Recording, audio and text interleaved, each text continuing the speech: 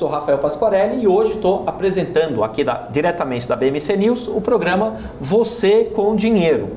E hoje eu tenho a satisfação de conversar com Antônio Lopes, sócio, diretor da Guardian. Tudo bem? Tudo ótimo, boa tarde, Rafael. Tudo bem, pessoal? Primeiro, obrigado pelo, pelo convite, pela oportunidade. É um prazer estar aqui, dividir um pouco da, da Guardian, da nossa história e falar sobre o mercado. Ótimo, excelente. É, é, verdade que tem mais investidor em fundo imobiliário que investidor no mercado de ações propriamente? É verdade. O mercado de fundos de investimento imobiliário, é, eu costumo falar que ele é uma grande porta de entrada para o mercado de investimentos. Né? De maneira geral, é, existe no brasileiro é, que não tem uma educação financeira, talvez na escola, que não tem uma cultura é, muito fomentada em relação a investimentos, etc., um certo receio de entrar nesse mercado e o mercado de FIIs acaba sendo é, um, um, veículo um pouco menos hostil, uma vez que se trata de imóvel que todo brasileiro gosta e entende e, enfim, sabe, acha que sabe investir no ativo.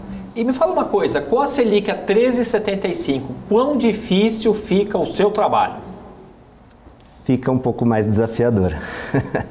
é, o, o, que, que acontece, né? O mercado brasileiro, falando particularmente da realidade do Brasil, quando a gente fala de imóveis, é, diferente talvez de, outro, de outras economias, e aí me referindo a economias mais desenvolvidas, onde a estrutura de alavancagem é uma estrutura extremamente é, difundida na, nas operações que envolvem não só o mercado imobiliário, mas também é, o Brasil ele não tem isso, né? ele, essa componente de alavancagem por conta do nosso histórico de juros altos, né?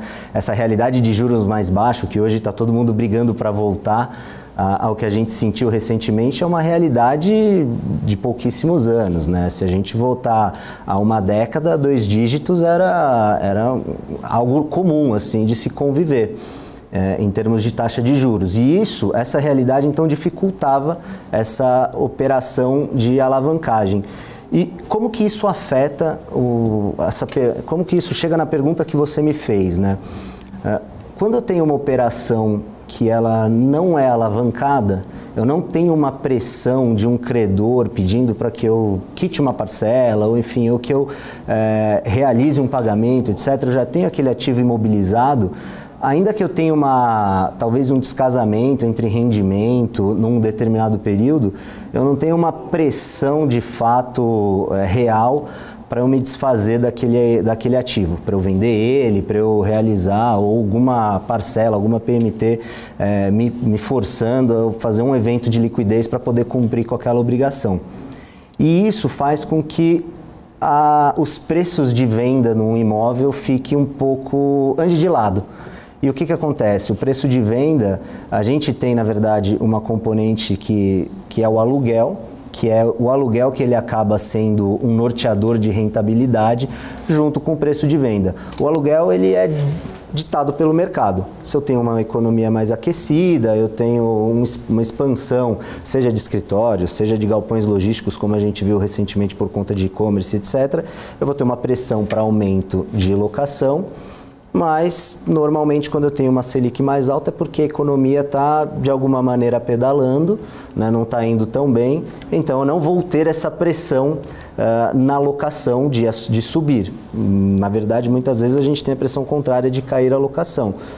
Se eu não tenho uma variação, pra, uma variação no preço de venda dos ativos para compensar essa alocação que ou está estável ou que vai cair, o que, que acontece? A rentabilidade do imóvel ou a expectativa de rentabilidade do imóvel, ela vai ser menor. Eu não vou conseguir atingir os 13,75, que talvez seria o norteador de um investimento de menos risco, né?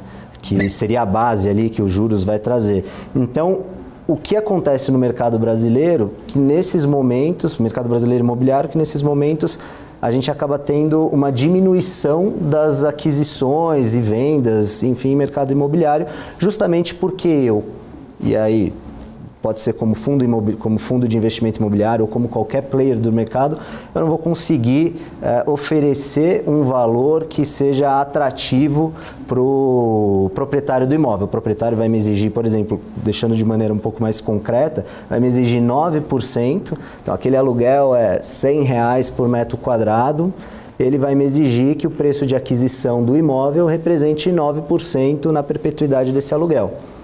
Uh, mas eu, eu, como investidor, vou olhar e vou falar, pô, mas se eu posso comprar um título do Tesouro que vai estar atrelado a essa Selic e vai ter uma rentabilidade muito próxima, se não igual ou superior ao 13,75, para que, que eu vou pagar 9 nesse ativo que, por mais que imóvel é, tenha uma componente de menos risco, ainda assim tem o risco daquela empresa que está alugando espaço vagar, ainda assim tem um risco, uma depreciação do ativo, coisas que um título do, de renda fixa, etc., não tem. Eu coloquei, principalmente falando em pré-fixados, eu coloquei um montante num, naquele ativo num prazo determinado com uma taxa pré-fixada, concluído esse prazo eu vou ter, vou recolher exatamente aquela taxa. Então eu precisaria ter essa compensação, essa compensação normalmente vem em desconto, em valor de venda, uma vez que o aluguel acaba sendo menos volátil nesse sentido. Uh, e o mercado imobiliário, por não ter tantas pressões, isso está mudando um pouquinho agora, depois a gente pode entrar um pouco mais a fundo nesse detalhe, mas por não ter essas pressões tão fortes, essas mudanças nele, é, principalmente quando a gente está falando é, em descontos, elas são menos velozes. Você está querendo dizer que os ativos também estão girando pouco. Né? Os ativos imobiliários giram pouco, isso causa. Isso é um sinal. Não sei se isso acarreta ou se isso é um sinal de pouca liquidez. Acaba, acaba, exato, acaba sendo, acaba indo um pouco nesse sentido, porque vamos lá também, né? Qual que é, falando particularmente agora um pouco de uma, um pouco mais específico, no mercado de fundos imobiliários. Qual é uma das formas do mercado de fundo imobiliário uh, crescer, expandir, gerar liquidez, né? enfim, é fazendo ofertas. Né? Então, a gente viu, né, principalmente nesse momento de Selic mais baixo, uh, a B3 costuma fazer relatórios bem interessantes de acompanhamentos do, do radar de FIIs, etc., e você consegue ver um gráfico que ele é praticamente uma exponencial é, do, que é, é, referente ao crescimento de investidores no mercado de fundos de investimento imobiliário. Ele cresceu muito nesse período que a gente teve uma Selic menor. Por quê? Porque com essa Selic menor, o investidor ele exigia uma rentabilidade menor ao emprestar esse dinheiro ou a deixar esse dinheiro sob gestão do, das gestoras de FIIs, etc., que aplicariam nos, no mercado imobiliário. Então, quando uma gestora fazia uma oferta, ela precisaria eventualmente fazer um IPO, ela poderia entregar 8% como benchmark né, para o cotista final e o cotista estaria satisfeito com isso. Desde que a Selic estivesse. Naquele momento que a Selic era mais baixa. Uh, entregando 8%, o gestor ele tinha uma agressividade ou uma possibilidade de maior agressividade e competitividade, consequentemente, na hora de colocar propostas para adquirir imóveis. É, e aí, assim, eu estou falando particularmente sobre ativos reais, mas isso se replica em crédito. Né? Então, uma das formas que a gente tem também muito comum são os FIIs de papel, que na verdade é uma forma de crédito atrelada a, a um ativo imobiliário. Então, também o mercado, quando a minha taxa, quando o credor exige uma rentabilidade menor para me emprestar aquele dinheiro, o mercado, de maneira geral, se sente uh, mais motivado a buscar esse dinheiro, porque, vamos colocar de uma maneira simples, o dinheiro está barato. Né? Então, quando a Selic e da mesma forma que acontece esse movimento no mercado de ativos reais, quando a Selic sobe para 13,75, quem tem fundos de papel, onde uma das funções é oferecer dinheiro, né, oferecer crédito a ativos atrelados, a recebíveis atrelados a, mercado, a algum ativo imobiliário, é, ele vai precisar acompanhar esse aumento. Quando ele acompanha esse aumento, chega um momento que o mercado não quer mais tomar porque começa a ficar muito pesado para ele. Né? Então, seja um incorporador, começa a ficar muito custoso ele pegar aquele CRI para desenvolver um residencial no momento e, e, é, e é um movimento ingrato, né? Porque ao mesmo tempo que a Selic sobe Né? Então, o, você como credor e eventualmente, né, numa ponta mais simples aqui explicando, gestor que vai oferecer esse crédito ao mercado, pensando num caso de incorporador que vai e o incorporador vai tomar esse crédito mais alto porque a Selic está mais alta. Por outro lado, quem é a ponta final que fecha esse projeto? É o pessoa física é o falando, falando, é o cliente final falando num, pré, num projeto residencial, por exemplo, que vai comprar o um apartamento. Mas voltamos para a realidade do Brasil. Como que o cliente final compra um apartamento no Brasil? É uma parcela ínfima da população que pega um apartamento, uma casa, enfim, e paga à vista a grande parcela da população vai financiar. E para essa grande parcela, a Selic mais alta também pressupõe um financiamento mais alto. Então você tem um incorporador que vai buscar dinheiro no mercado e o mercado está oferecendo dinheiro para ele mais caro e ele tem um tomador final que eventualmente viabilizaria esse projeto, conseguindo pagar menos pelo apartamento, ou no final diminuindo o VGV do produto dele, porque a forma dele financiar aquele produto agora também está mais cara. Então é um ciclo vicioso. Mas dá para perceber que o VGV com a Selic a 13 75 está maior ou menor, aparentemente, pelo que você está falando, deveria ser menor do que quando a Selic estava 2, 3, 4, 5. Exatamente. Ou, dá, dá para ter esse dado concreto ou não? Você, com, você consegue, mas ele não é imediato, né? Porque a Selic está a 13,75, que amanhã o VGV diminui. É... Só explica o pessoal o que é VGV. O VGV é valor geral de vendas, né? Então você, quando a gente está falando particularmente de um caso de um incorporador, né? Quando o incorporador ele tem um, compra um terreno ou tem um terreno no land bank dele, que seria o estoque de terrenos dele, né? e para incorporação isso é a matéria-prima, quando ele tem isso lá, ele faz uma análise de um projeto, então fala, ah, neste terreno eu consigo é, construir um prédio de 15 andares, 100 unidades, nessa região o metro quadrado médio custa X reais, então ele fala, ah, este terreno eu consigo gerar 100 milhões de reais em venda. Esses 100 milhões de reais é o VGV, é o valor geral de vendas deste projeto, deste terreno. Então, por que, que ele não é imediato? Né? Porque você tem é, um tempo de acomodação, primeiro para as pessoas sentirem né, um, um, a desaceleração da economia. Uh, e essa desaceleração pressupõe. Aí a gente está falando de uma parte muito micro do mercado, né? Começa para o preço cair no final do dia, é, é, o, é o cliente final, o tomador final, querendo ou conseguindo pagar menos. Uma das formas é através do financiamento ficando mais caro, então aquela parcela que antes cabia no, nas contas pessoais dele, no salário dele, hoje não cabe, ou se ele conseguia com o salário dele comprar um apartamento de 500 mil reais, hoje ele vai conseguir de 400, por exemplo, por conta desse aumento. É, então, das duas, uma, ou ele tenta negociar mais barato o apartamento, ou ele tenta comprar, ou ele vai comprar um apartamento menor, né? No final do dia é isso. E por que, que isso não é imediato? Porque a Selic sobe, o mercado se acomoda com essa nova realidade, a gente tem um, um um tempo para a economia como um todo responder com uma desaceleração.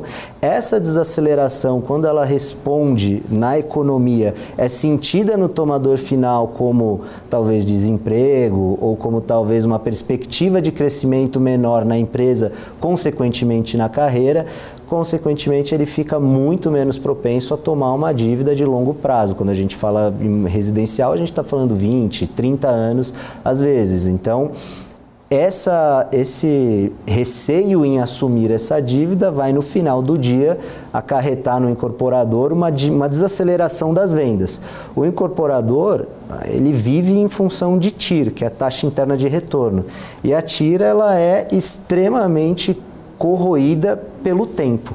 Então, quanto mais rápido você resolver, né, você vender 100% um projeto, maior a sua TIR, pensando aqui em incorporações incorporadoras com capital aberto, a TIR ela vira uma grande métrica de resultado e EBITDA, então a ação da incorporadora sobe. O que, que acontece? Se diminui a velocidade de venda do incorporador, vai diminuir o resultado dele, porque a TIR piora. Então, em algum momento, o incorporador vai ter que tomar uma decisão. Preciso vender esse projeto. Queima, que, queima. Vendo, reduz o preço. Mas não é imediato. Você viu como é longo esse ciclo? Né? Então, e, esse ciclo, ele, e, e quando a gente fala particularmente em mercado imobiliário, ele, ele em todos os setores dele, né, seja office, seja residencial, ele é muito, ele é muito suscetível à Selic, mas ele tem uma componente de estrangulamento por matéria que acaba deixando ele com uma característica muito cíclica clara. É uma senoidal, assim. Então, o que, que acontece? O incorporador queima o estoque que ele já tem depois de um tempo, né? começa reduzindo um pouco o preço. Mas ele nunca queima land bank, ele queima produto acabado. Exato queima produto acabado, porque é isso que teoricamente. É, o land bank é, é, é invendável, certo? É, exato. O land, porque o land bank no final do dia ele acaba ele acaba sendo um PowerPoint, né? Eu vou ter uma premissa lá e aquela premissa dificilmente vai machucar principalmente porque também tem pouca exposição de caixa, é, são muitos detalhes, né? O incorporador ele consegue é, negociar grandes terrenos, eventualmente, ou, ou terrenos que estão dentro de, das cidades, que às vezes estão na posse de famílias, um, dois membros da família. Então ele consegue negociar isso com através de permuta, permuta seja física, seja financeira, ou com um pequeno sinal para segurar aquele terreno, mas com esse pequeno sinal ele já considera esse terreno dentro do land bank dele. Então o que, que significa isso? Pouca exposição de caixa. Se eu tenho pouca exposição de caixa num projeto, me machuca muito menos segurar ele por mais tempo. Se me machuca segurar ele por mais tempo, eu não vou mudar minha premissa de venda a 15, 20 mil reais o metro quadrado, porque agora o mercado vende a 16. Eu vou continuar falando que ele vende a 15, a 20, mas eu não vou lançar ele. Eu acho que quem está nos assistindo deve ter algum conhecido, parente ou até mesmo você mesmo, que tem aquele sonho de comprar um terreno, fazer umas casinhas e vender ou, vamos supor, ou vender ou pôr para alugar. Se for para vender, um grande risco é você não conseguir vender. Exatamente. Só que se você fez isso com o oxigênio, com o ar do seu próprio pulmão, uma hora ele acaba. Exato. E aí você não consegue vender, não consegue vender, não consegue vender, e em algum momento uh, a realidade bate na sua porta e você vai ter que baixar preço. Porque se você não está conseguindo vender, você provavelmente tem um, um problema ou de produto ou de preço. Ainda que tenha um problema de produto, compensa no preço. Exatamente. É exatamente isso.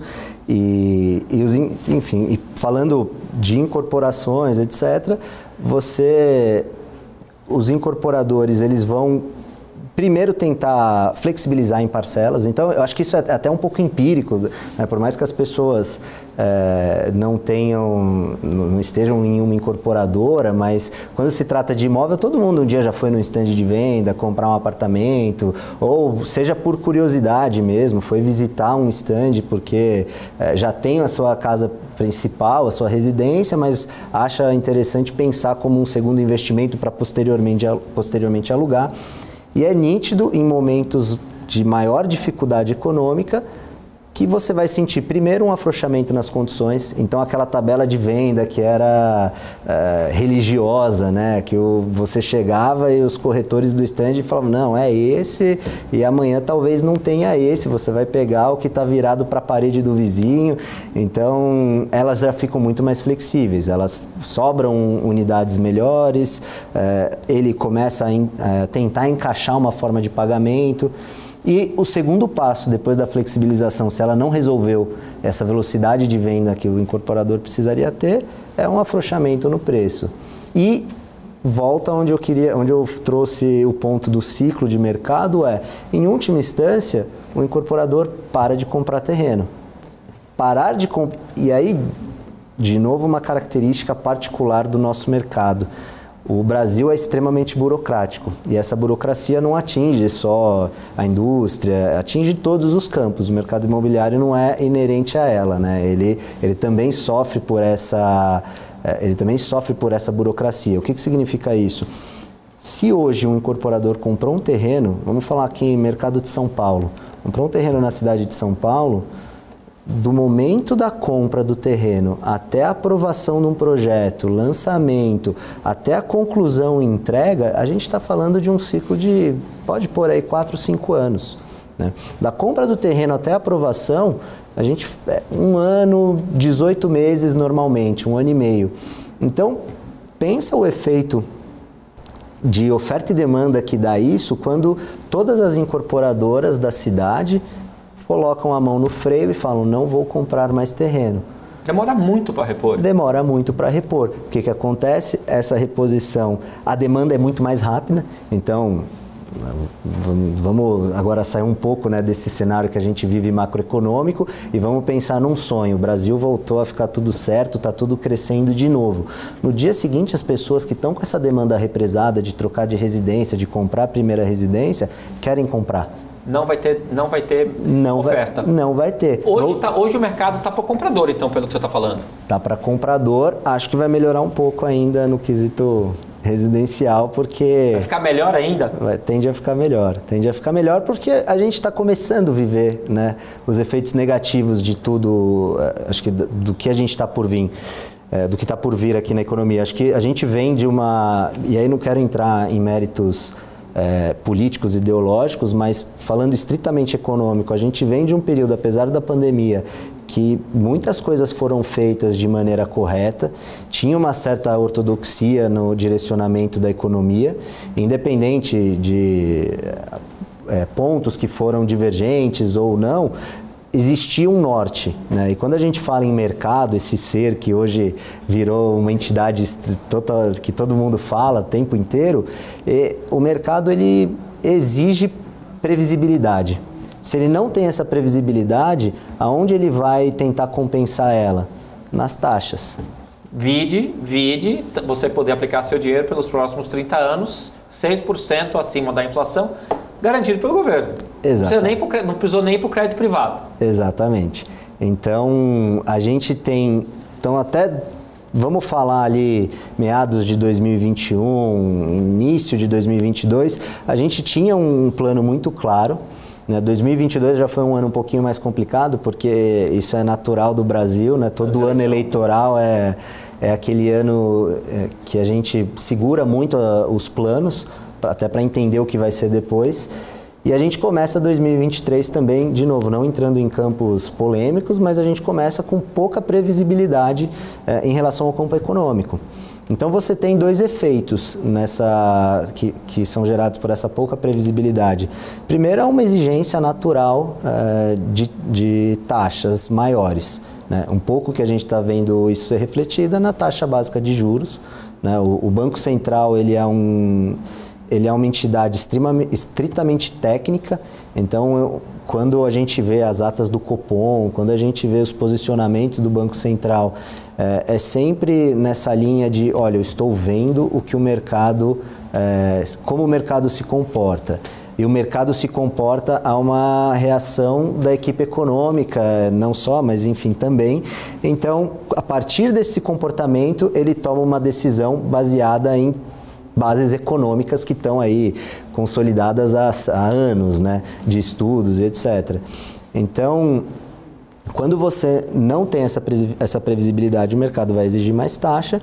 E o segundo passo é, se eu não tenho previsibilidade, eu como investidor, né, e aí tentando dar nomes né, a, a, esses agentes que formam a entidade mercado, é o investidor, é o empresário, que em última instância é investidor da própria empresa, né, é eventualmente até você né, que tem a sua poupança e você fala, onde eu vou colocar meu, Quando meu dinheiro? Quando ele fala poupança, não é caderneta de poupança. Isso. É uma reserva de valor Perfeito. inteligente, não poupança. Perfeito. Você tem ali as suas, as suas reservas, né? E você vai decidir onde eu vou colocar ela. V vamos né, até fazer, tentar fazer uma análise bem simples. Você como investidor se sente muito mais suscetível a colocar o teu dinheiro na Bovespa, né, na, na B3 hoje, né, colocar no mercado financeiro o seu dinheiro no momento onde o país tem todas as tendências e todos os indícios de crescimento, ou no momento onde você não sabe para onde ele vai, né? É, quando você não sabe, é, a, o que quase todo mundo faz é deixa no CDI, particularmente se tiver 13,75 Exato. ao ano e o Banco Central deixou claro, olha, posso até subir, viu? Posso, posso até, posso, posso até, até subir. Mas aí tem gente que acha que isso é desafiar o governo, é, outros acham que ele está sendo estritamente técnico. A gente deixa para você que está nos assistindo decidir, decidir se é uma coisa ou se é outra. A gente vai entrar daqui a pouco nos produtos da Guardian. Mas eu queria fazer mais uma pergunta é, para você. Falando de mercado, é, de FII, de fundo imobiliário, quais é, prós e contras, quais são os, as condições favoráveis, as condições desfavoráveis, características favoráveis, desfavoráveis, para ter um fundo imobiliário de papel ou de tijolo? Aí tá. só explicar para o pessoal, eu acho que quase todo mundo que está assistindo aqui sabe o que eu estou falando, mas você pode primeiro explicar a diferença do FII de papel, FII de tijolo. Perfeito. Só, não, não vou perder o gancho da pergunta, mas só também para não perder, eh, acho que um comentário que é muito importante, que estava na sua primeira, eh, que é relacionado à tua primeira pergunta, que é sobre como fica o meu trabalho. Né? O meu trabalho como gestor de, de FII, ele fica mais desafiador. Por outro lado, o o, a vida do cotista, apesar de todas a, a, as dificuldades e os desafios que a gente tem aqui, viven, vamos vivenciar, estamos vivenciando hoje na economia, a vida do cotista ela se torna um pouquinho mais simples no sentido que hoje a gente tem grandes oportunidades de investimentos no mercado. Tem bons fundos, seja de papel, seja de FII, que estão descontados.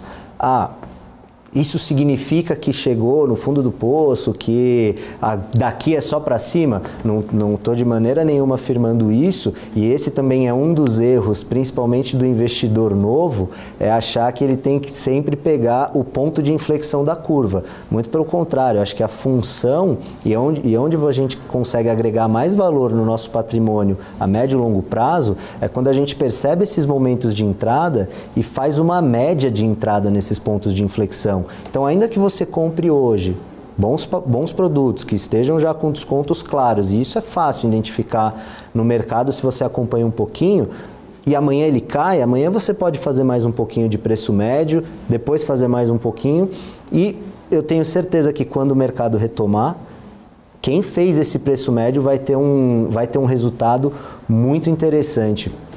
Ó, eu fiz a pergunta sobre a questão do CRI de papel ou CRI de tijolo. O pessoal me pediu aqui o intervalo e eu vou pedir o intervalo agora. Mas antes, eu não pude deixar de notar que o Antônio já falou aqui em curva senoidal, porque a economia vive em ciclos, e ponto de inflexão. Eu falei, esse cara ou é matemático ou é engenheiro. Eu entrei aqui no LinkedIn dele, ele é professor de matemática e é também é, engenheiro civil, né? Então, só para assim o cara se denuncia, né? ele fala umas palavras, é. aqui é senoidal, ponto de inflexão, mínimo local, máximo local, a gente já mata com a formação do cara. Vamos fazer o um intervalo e depois o Antônio vai explicar as diferenças entre os FIIs de papel e os FIIs de tijolo. Até daqui a pouco.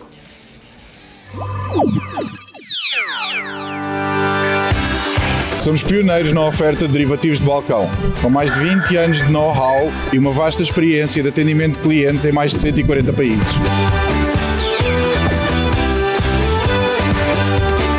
Temos o orgulho de oferecer uma infraestrutura de negociação de última geração para que os nossos clientes tenham a melhor experiência de negociação possível.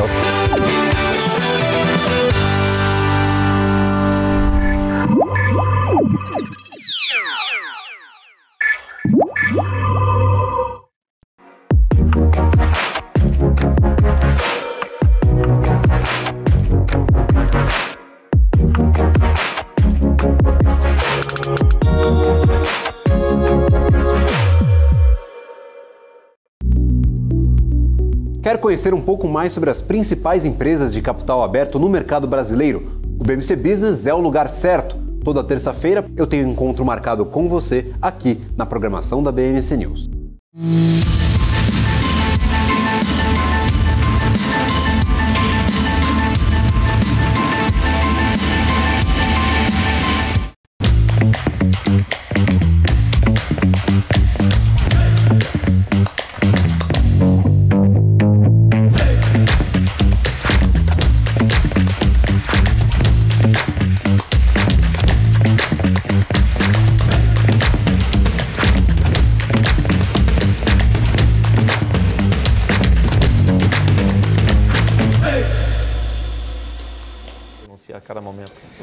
Olá pessoal, estava aqui no intervalo conversando e ele já veio com a questão de, de soma de vetorial aqui no assunto de finanças, mas vamos voltar aqui para os fundos é, imobiliários.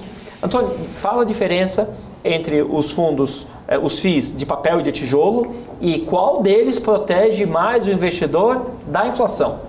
Vamos lá. É, é, basicamente, o fundo de investimento imobiliário, ele, tentando colocar em termos bem simples, é um condomínio, né? É um grupo ali de, de pessoas, de, de instituições, CPFs, CNPJs, que colocam dentro daquele veículo um determinado montante é, de capital e esse veículo tem uma política de investimento. Os de papéis, né, então os fundos de papel, ah, eles são basicamente fundos que têm como objetivo comprar créditos né? Então, é, comprar, enfim, papéis que, que sejam créditos que estão atrelados a recebíveis imobiliários, então ele oferece como se fosse um empréstimo, né? o dinheiro dele ali, ele assume o papel de credor é, para algum, alguma entidade que pegou aquele empréstimo e ela tem que pagar de volta para aquele credor via PMTs, etc. E o recebível, então o lastro que garante essa operação é um lastro imobiliário. Então os fundos de papéis, eles na, de, nada mais são do que é, um veículo que compra uma série, até para diversificação de risco. Né? Você como investidor qualificado, profissional, poderia ir lá comprar um CRI colocar né, 15, 20 milhões, enfim, que seja, dentro de um CRI. Mas qual que é o teu risco aí? Você está concentrado em uma operação de crédito. Né? Então esse CRI pode ser para uma BRF, para um, é, enfim, para qualquer empresa do mercado, mas você está concentrado naquele risco, naquela operação. Quando você põe num fundo, o fundo ele vai alocar um pouco, um percentual do portfólio dele em várias operações desse mesmo caráter, com esse mesmo DNA. Mas você vai ficar exposto a vários, e aí exposto no bom sentido, né, a vários a riscos de créditos e operações diferentes. Essa composição permite com que o gestor compre papéis uh, que a gente chama de high yield, então que high yield, né? Então significa que ele vai entregar mais retorno e consequentemente é uma lei natural, né? Se você tem mais retorno, você tem mais risco atrelado, ou você vai vai colocar um pouco da tua do teu portfólio em imóveis que são em imóveis não, desculpe, em papéis que tem um retorno menor, porém tem um risco de crédito também menor. Eu vi muita gente falando em CRI a IGPM mais 15, IPCA mais 17. É, e o gestor do fundo coloca isso como uma, um predicado, como algo favorável. É. Se você está investindo num fundo e que tem CRI lá dentro, de IPCA mais 18, IGPM mais 15, é para você ficar feliz ou preocupado? É, você precisa olhar bem a estratégia que está sendo adotada. Você precisa olhar bem quanto por cento do portfólio essa alocação representa.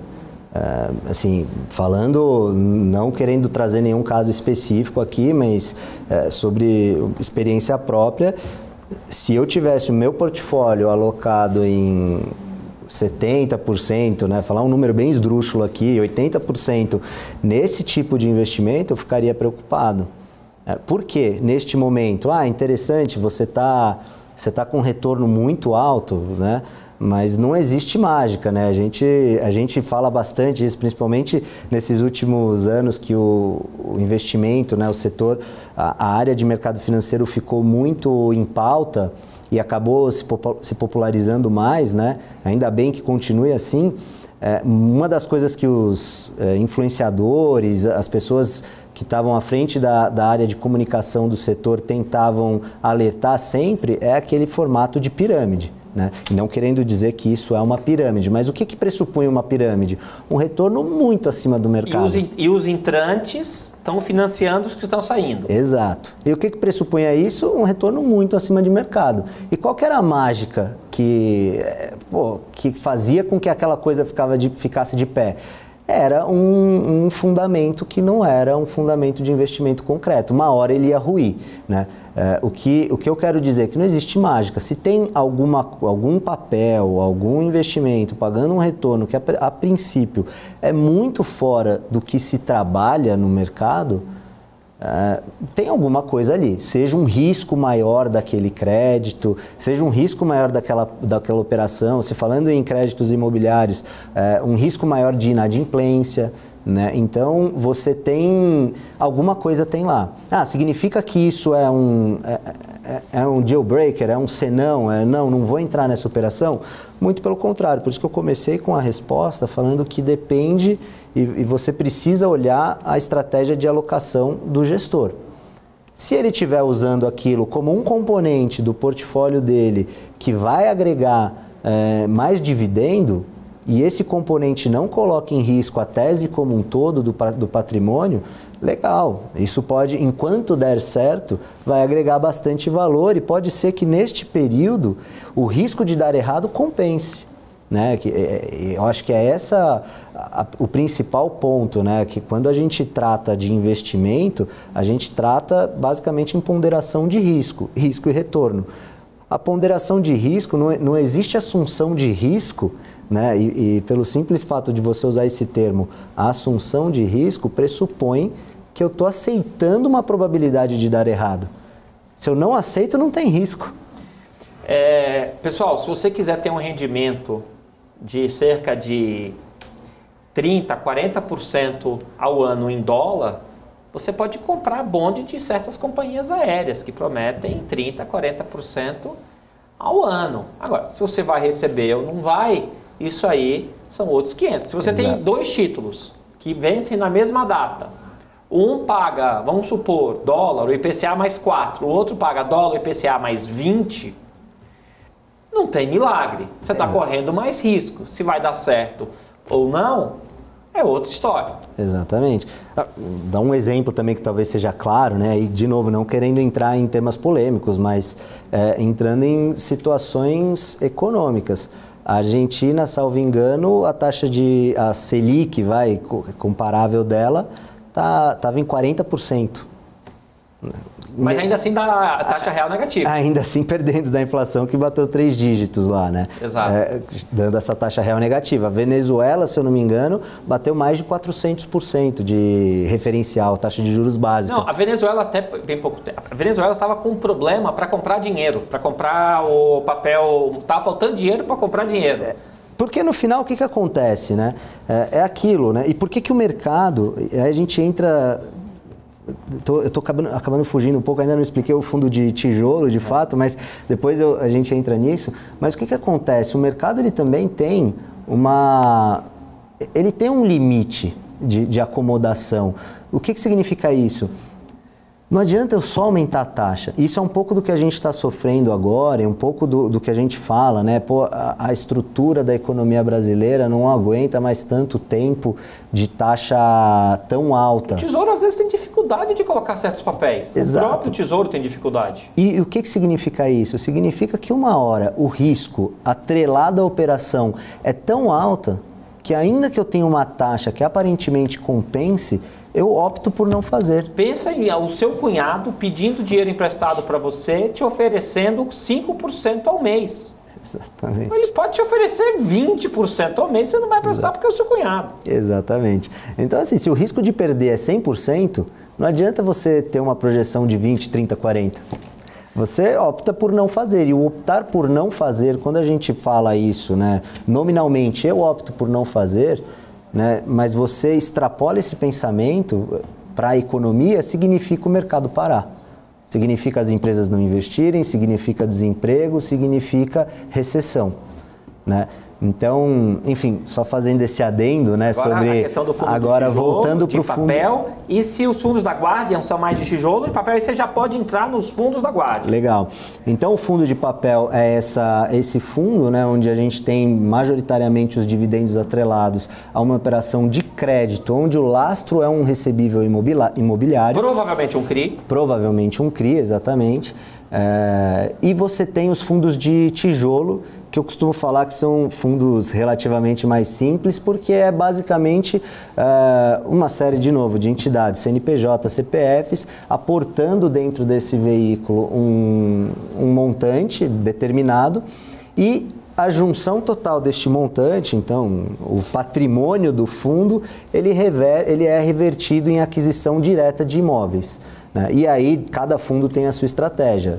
Tem os fundos de logística, tem os fundos de escritório, enfim. Uh, e, e, tem fundo imobiliário para ter a renda do aluguel e tem fundo que quer desfazer o imóvel, se desfazer do imóvel. Exatamente. Tem fundos de, eventualmente, desenvolvimento, que a função final dele é comprar o imóvel e vender e entregar esse, essa valorização para o é, cotista e depois realizar outra operação nesse sentido.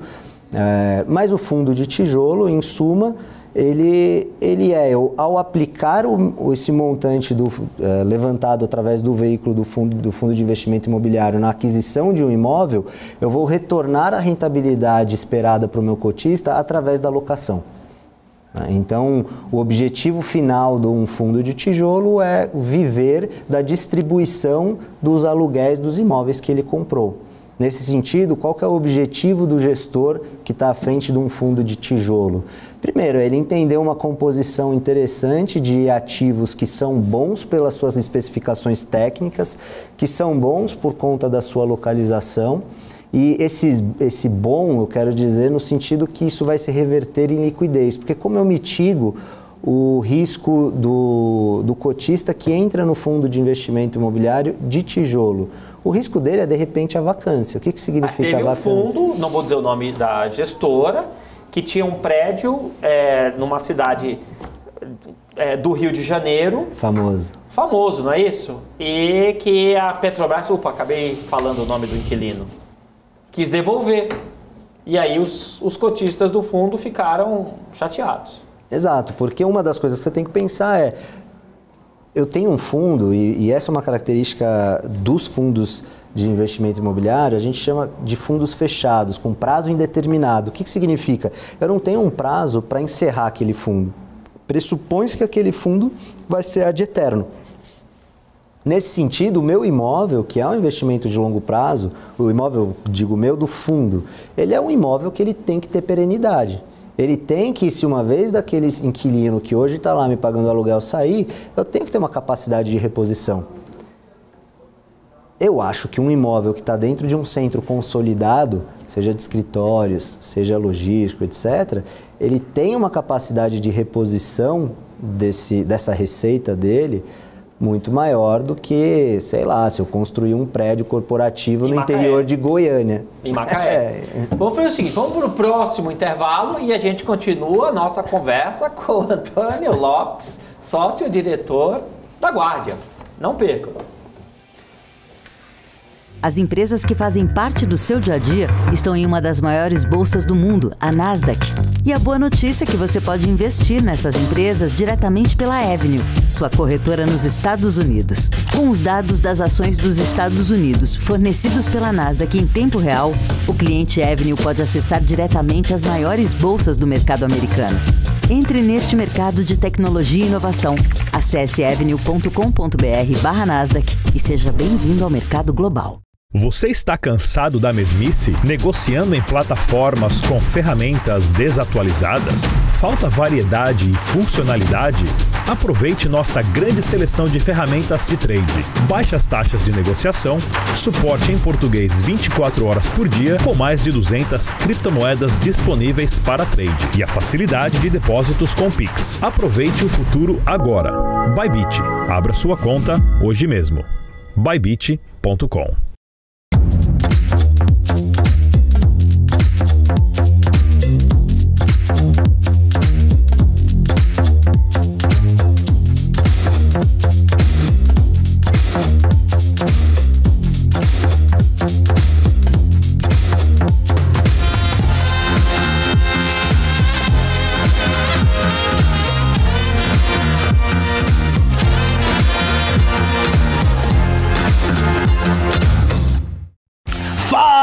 meu povo, beleza? Estão abertas as inscrições para o meu curso de opções. Você estará a meu lado durante 6, 7 horas ao vivo, aonde você irá aprender desde o básico dos principais conceitos de opções até o modo de você fazer proteção da sua carteira contra incerteza, se vale a pena fazer o tempo todo, se não vale, como essa proteção deve ser feita e também para você especular, tanto na alta como na baixa das ações. Inscreva-se agora e você ainda vai garantir dois bônus.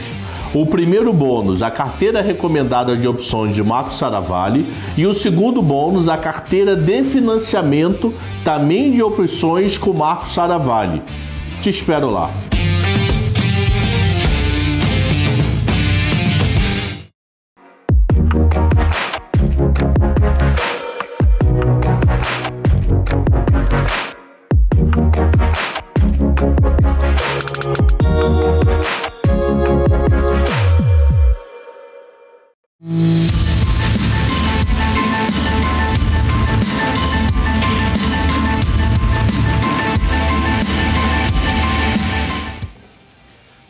Pessoal, estamos aqui de volta na BMC News com o programa Você com Dinheiro e hoje estamos falando com a Guardian, com Antônio Lopes, que é diretor da gestora.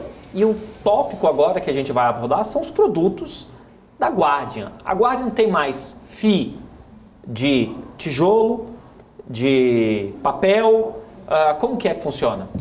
Hoje a Guardian ela tem dentro dos produtos de FI ela tem dois FIIs, um de tijolo, um de crédito, é, de papel. Na verdade, ele é um hedge fund, mas é, hoje a tese está 100% alocada em crédito imobiliário. É, o, o carro-chefe acaba sendo de tijolo, que é o GALG 11. É um fundo que tem aproximadamente um bilhão de reais em ativos. Uh, mas ele tem uma componente bem interessante de alavancagem, então o patrimônio líquido dele permeia 550 milhões de reais. E o Game, que é esse fundo, que é o Guardian Multi Estratégia, que é o Game 11, focado em, em crédito imobiliário, é um fundo de patrimônio líquido de 215 milhões de reais. Uh, esses são os dois fundos que a Guardian tem no setor imobiliário. Além disso, ela tem um DNA muito forte também na área de crédito, então a gente tem um fundo de consignado, a gente tem um fundo de previdência é, em parceria com o Icatu. É, e a gente tem alguns fundos fechados que a gente faz a gestão é, de investidores de dentro de casa, enfim, que servem também muitas vezes como warehouse, né? O, o que que tem não usando o termo em inglês, mas é como se fosse uma ponte. O que, que acontece? O fundo imobiliário, o, a, a, janela de captação de fundos, ela acaba sendo muito restrita, né? A gente falou em outros blocos, quando a Selic está alta, a gente tem uma dificuldade maior de colocar novas captações e, e, e adquirir nova, novas oportunidades. Entretanto, a gente tem uma estrutura bem interessante de clientes da casa, enfim, é, que permite que a gente tenha agilidade de efetuar transações mesmo quando janela, essa janela está fechada, a gente acaba empacotando isso dentro de fundos que são esses warehouse, né? então que a gente guarda essas boas oportunidades para colocar dentro das teses depois de mercado aberto quando tiver janela para isso. Né? Então, ainda nessa tese, a gente tem mais ou menos 500 milhões 600 milhões sob gestão em fundos fechados. Mas basicamente o Galg, então, é esse fundo o, focado em logística, é um fundo de tijolo, ele é composto por cinco ativos. Aqui a tese do Galg é uma tese bem interessante, é, que a gente pensou nela basicamente olhando o comportamento do mercado imobiliário, do cotista final no mercado imobiliário. E esse cotista, ele é um cotista que prima principalmente pela, pelo dividendo. Então, o que, que a gente fez? A gente, a gente construiu um portfólio uh, eh, 100% alocado em empresas com rating de crédito, ou seja, com risco de crédito uh, internacional, essas empresas hoje são BAT, que é a British American Tobacco, antiga Souza Cruz, a BRF e a Liquid. Essas empresas todas têm um risco de crédito internacional superior ao risco do Brasil, né? significa que é, é mais fácil o Brasil não pagar uma dívida do que essas empresas. E os imóveis que a gente tem dentro do fundo foram imóveis provindos de operação de sale leaseback para essa empresa, essas empresas, e eles estão dentro da, do contrato de locação atípico, onde eu tenho, por lei e por jurisprudência, a garantia de 100% do meu, do meu prazo de locação e dos meus dividendos ali acordados. Eu estou olhando aqui o com dinheiro, se eu tiver errado, você me corrija. É Air Liquid Canoas, Rio Grande do Sul. Exatamente. Área bruta locável, 7 mil metros quadrados. Faz sentido esse número? Faz sentido. Pessoal, quer informação de fundo imobiliário? É com dinheiro. Não está olhando no com dinheiro, está olhando no lugar errado. Air Liquid São José dos Campos. É 17.800 metros quadrados de área bruta locável. Perfeito. É, Almanara, é isso mesmo? É isso mesmo. A Almanara é do restaurante ou não tem nada a ver? A Almanara é do restaurante, é uma operação que a gente é, vendeu no final do ano passado, hum. é, mas era esse mesmo, um sales back que a gente fez para eles, fazia parte do fundo até dezembro, janeiro Entendi. talvez. E aí tem é, BRF Salvador, 151 mil metros quadrados, BRF BRF Vitória de Santo Antão. Existe esse lugar, é certo? É isso aí, é isso aí. 200 mil metros quadrados e Souza Cruz, que é a British American Tobacco. Perfeito. Tobacco, de 501 mil metros quadrados no Rio Grande do Sul, no município de Cachoeirinha. Perfeito. Todos esses imóveis, uh, Vitória de Santo Antão, é, é, uma região muito próxima de Pernambuco, tá a 15, 20 minutos de Pernambuco. Uh, Cachoeirinha está a 15, 20 minutos do Aeroporto Internacional uh, de Porto Alegre, frente para a RS 118, que hoje é um dos principais trechos da malha logística do Rio Grande do Sul. BRF Salvador não precisa falar, né? Está dentro da cidade de Salvador e todos eles têm uma característica de componente estratégico para a operação uh, do inquilino. Os dois imóveis de BRF, para você ter ideia, são galpões refrigerados, então eu brinco que é um grande congelador. Ali você tem área de menos 20 graus no, no, no calor do Nordeste. É, e esses dois, junto com mais um imóvel ali na região de Fortaleza, eles são responsáveis por toda a malha, malha logística dos produtos refrigerados e congelados da BRF no Nordeste. Então é extremamente estratégico para a empresa. Uh, o Vitória, o Vitória, Vitória de, o Vitória de Santo Antão, Visa, ele está conectado com a fábrica da, faz parte do terreno da fábrica da BRF e ali ele tem um tubo que conecta diretamente ao nosso galpão. Então assim, essa era a ideia que a gente fez de construir o Galg, garantindo a, a previsibilidade dos dividendos que o cotista ia receber quando entrasse no nosso fundo.